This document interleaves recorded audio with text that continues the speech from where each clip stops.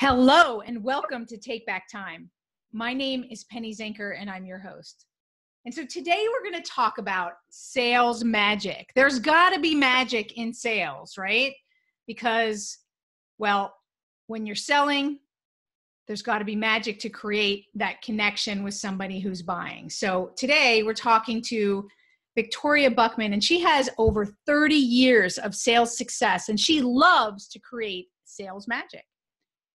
And she has created a successful corporate career for herself with a Fortune 100 company, achieving a thousand percent of quota month after month and year after year.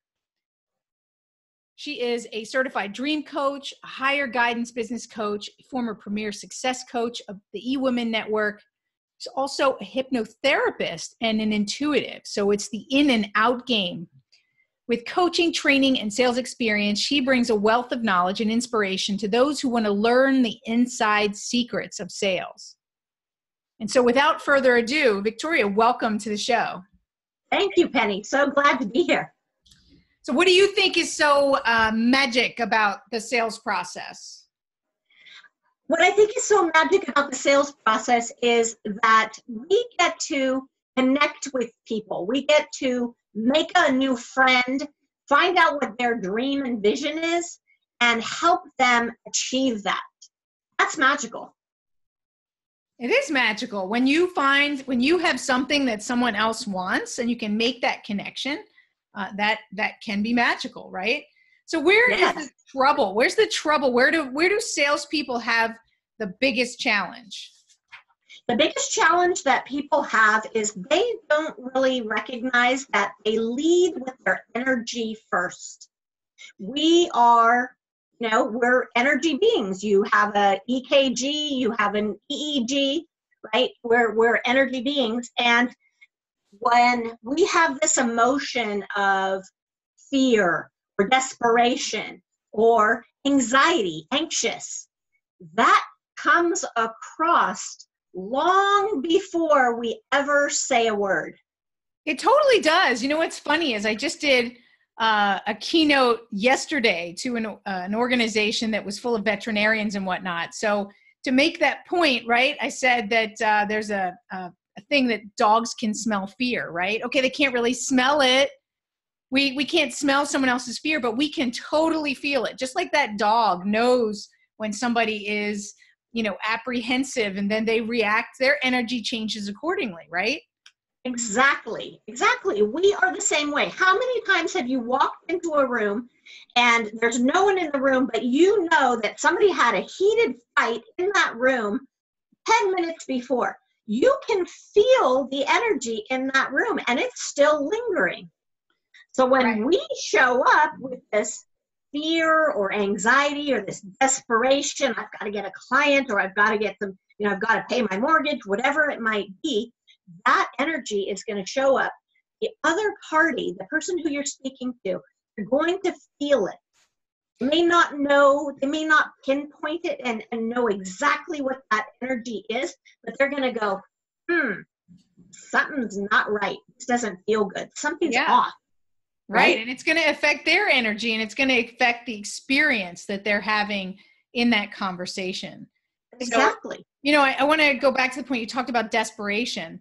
You know, so many people, right? They're goal oriented. And what they don't realize is that they're a little too goal oriented, is that it creates then an obsession and obsessive behavior towards a goal becomes more uh, of that desperate energy, right? It becomes more of a scarcity than it does in terms of a motor towards that goal. Yes, yes. So, what would you yeah. say? How does somebody handle that? So, like, you know, that's maybe the way that I'm showing up in my sales process. And of course, I'm, how would I know that? I'm probably not getting the results that I want, right? And people are right. not not buying right. from me. So how do I shift that?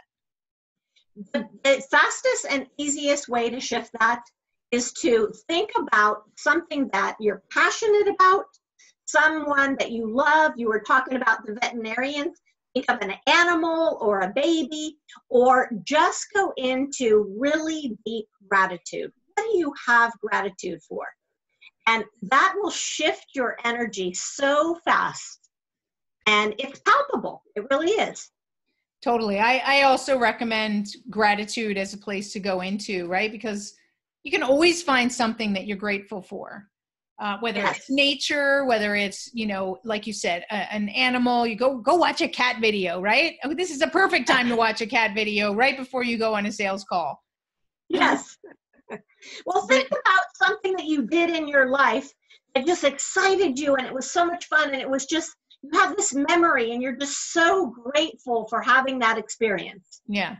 Yeah. Yeah and i i think also it's really important to connect to um you know what is your drive like your purpose not a goal but something that that that you're excited about being a part of. So hopefully whatever this person you know if i'm in sales that i'm selling something that isn't just a product you know how is this going to enhance someone's life and really get connected to the value that it provides. So if i'm you know a sales I, i'm selling houses for instance you know i could look at it as though i'm building communities and that i'm creating happy families because they have a, a place to live and to and and to call their own and and to be comfortable in. So you know it, it can be a different focus by focusing on what the other person is gaining than just i'm making the sale yes and not only building communities you are providing somebody with a home that has a whole different feel than I'm selling a house. Totally. Right? Even just the word. Yeah. Yeah, absolutely. So just yeah, stop talking about selling. Yes. Yeah. That's that's a good point right there, right? Well, the, even the word sales, it's gotten a bad rap. And for women, we we think that we're not good at that or um, we don't know how to do it because of all the reasons, all the things that we've heard. We don't want to be pushy. We don't want to be aggressive. We don't want to be salesy. That's a whole new word. That what does that mean? Salesy, you know? Right. Oh yeah, exactly. Yeah. Right. That that yeah. in itself is describing that energy that you're talking about that people don't want to feel. Exactly. Yeah. So yeah. So absolutely a good point. So you know we're helping people. You know on this show, right? We're talking about how we help people to be more strategic so they can take back time they can do things more efficiently and effectively. Now you know let's put that into what what that means in terms of the sales process. So what kind of result will someone get when they can shift the energy that they're bringing to a conversation? They can double and triple their sales period. double and triple their sales. And could they do it faster or does it take just as long? They can do it if you are coming from the right energy, your own energy, this energy of gratitude, and you add to that your energy of, I want to be of service to this person in front of me. I want to find out what do they dream about, and I want to help them get either reach their dream or get this much closer to their dream. That's that value that you talked about. When you can help somebody get what it is that they dream about, you're putting your own agenda aside. You've, lo- you've left your agenda, you ha- you're there to serve them. They are going to come closer to you, if not physically, you know, and that shortens up the whole time frame of how you create trust and yes. you know likability and the whole you know no like and trust factor right? Totally. It's a it's a speed speed to trust but it's it's going to shorten the sales cycle. If we can optimize and improve our conversations we don't have to have as many of them. So exactly. that in itself right is an efficient and effective process and it really does. I totally believe it. It comes with the energy that you show up. And it's not just when you're selling something. You know uh, i was on stage three times last week one of those three times, I felt like something was off. And I couldn't I couldn't put my finger on it. And I, I record a lot of my sessions. And I listened back through the session and I watched and I said, you know what? It was my energy. My energy was not as powerful, as animated as it normally is. Something was was a little flatter. And ah. and I could feel it in the audience. So either I was affected by the energy that was around me or I affected the energy that was around me, right? Because it's a it's symbiotic uh, re- relationship. It is. It's a give and take. And so it can go both ways. And anywhere in our life. I just want to point that out for everybody who's listening. It's everywhere in our life. It's not only if you're selling, it's if you're having uh, a meeting and you're you know just in a regular meeting at work or it's happening in your relationships with your kids or with your spouse energy is everything right how many people you know there's this whole thing where you get in a fight when you walk in the door because everybody's energy is in different places and so you're responsible for your energy and it's funny because you say not just selling it could be you know talking to your kids or talking to your spouse or at work in a meeting you know in fact all of those places you're selling. That's because true. You're sharing an idea, Uh, selling somebody on some idea. If you're working with your kids and you're communicating and you're trying to influence them in a certain way to be a certain person and to, you know, take care of their room or whatever it might be, you're selling them on another idea. Yeah. So whether it's leadership or, you know, a meeting or at home, you are constantly selling in your life every moment, whether you're selling yourself on an idea, whether I have to sell myself to get my little fanny to the gym, right? Absolutely, we we are. We're selling to ourselves and we're selling to others all the time. So we might as well embrace it, right? Embrace it and and and know what drives uh, a successful outcome. Exactly.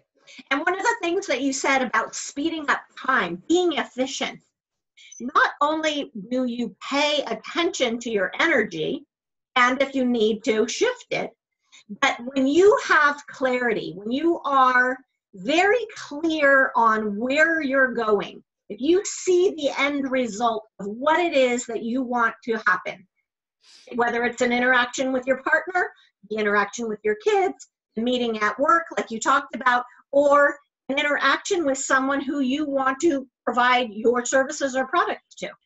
When you have a very clear goal in mind, very clarity, clarity of intention is how I would say it.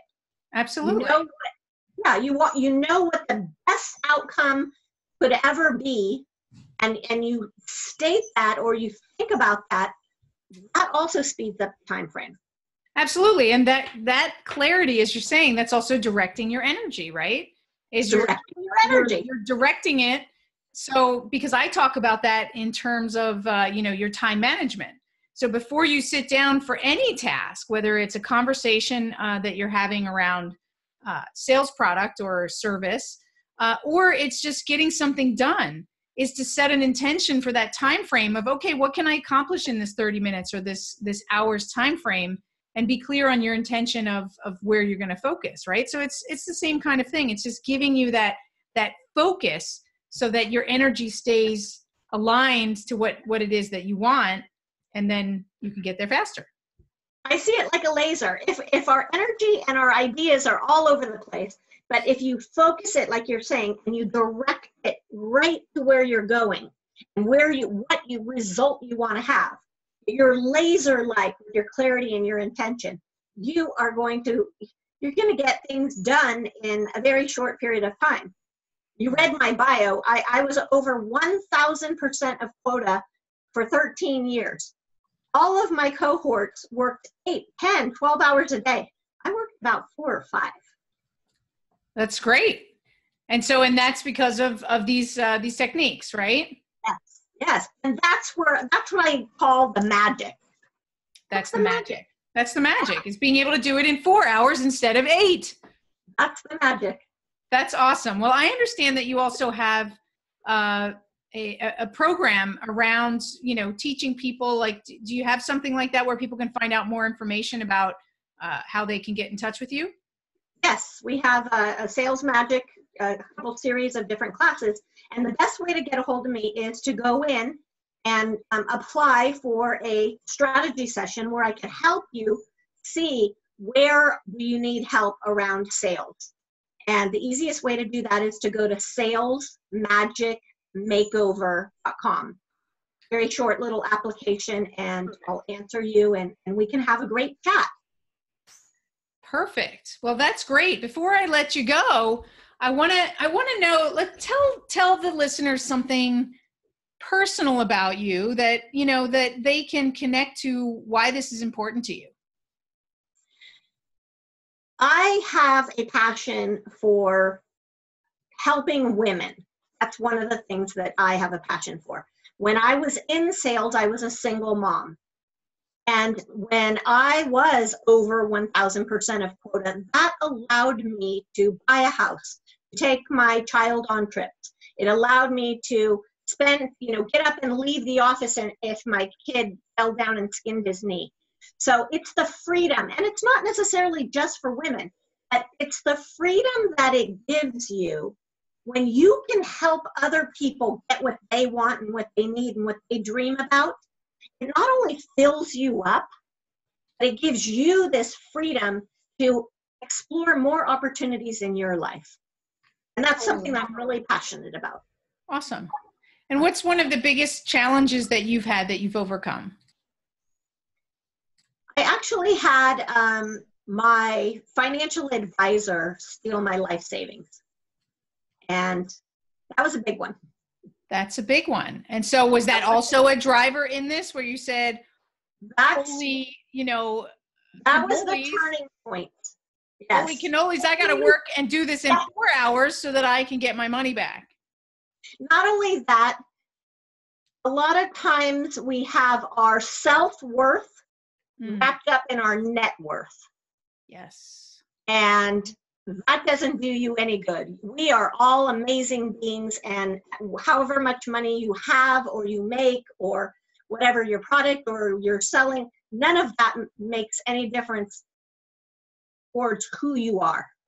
We are magnificent beings. We're all geniuses in our own right. And I love to help people find their genius and, and go towards their dream. And make them their lives more fulfilling. So was that was that one of your challenges? Because you know I had that same challenge where I had early success in my career, like you know big time major, and then I switched careers and sort of started at ground zero again, and it was very humbling. Like I did have that that uh, whatever you want to call it that complex of, of feeling like okay now i'm not making the money. And so i'm not you know i'm not worthy or or having that lack of confidence because of that. And i know that was a uh, something that i had to overcome. Is so is that what happened in that process? Is is that you exactly. I got the rug ripped out from underneath me and i toppled for a couple years and I got to know who I am and what I love and what I'm passionate about. And I'm passionate about people. I love being in relationship with people and helping them achieve their dreams. And it took me a little bit to figure that out. And, you know, yeah. that was definitely the catalyst. well, that's great. Thank you so much. Yes. Thank you so much for being here. Thank you. This was fun. And for all of you listening, thank you for being here. Yes, we all have challenges, challenges in our beliefs that tell us we're not enough, that create fear, that make us uh, want to reach that goal in desperation. And the truth is, you're worth it. And all you need to do is bring that energy from within you know you said love people so just just love love on the people that you're that you're selling care about them want them to have more and uh, and and just be bringing the energy, the intention, the clarity that is going to help you be more successful to shorten that sales cycle and double your sales at the same time. That's how you take back time. Thank you all, and we'll see you in the next episode. My name is Penny Zenker, and this is Take Back Time.